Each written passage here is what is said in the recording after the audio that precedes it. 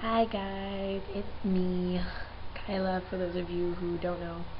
Okay, so basically I'm making this while I'm at work on my new laptop. Yay! Laptop! Um, but pretty much, basically what I was trying to get at is that my Sony Vegas does not really work right now on my computer. I know how to make it work, it's just going to take a really long time well, maybe not a really long time, but it's going to take some time. And uh, so I'm going to go ahead and try to fix it tomorrow because otherwise I have to make my videos on the uh, computer. And the whole point of me getting a laptop was to get my stuff off of the computer because uh, we're trying to reformat it and that fun stuff. And I make a lot of videos and they take up a lot of space. And anyway, so um, basically I was just letting you know that my Sony Vegas is a little messed up.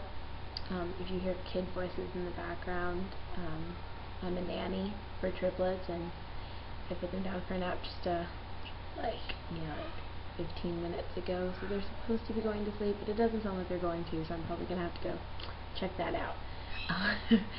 but uh, basically, I'm working on getting Sony Vegas working, and then I'll be able to go ahead and make some more videos because the uh, Windows Movie Maker on the laptop is like the beta version thing and it's kind of weird and I don't know how to use it so um, yeah just filling you guys in and uh, hopefully I'll be making some more videos soon. Bye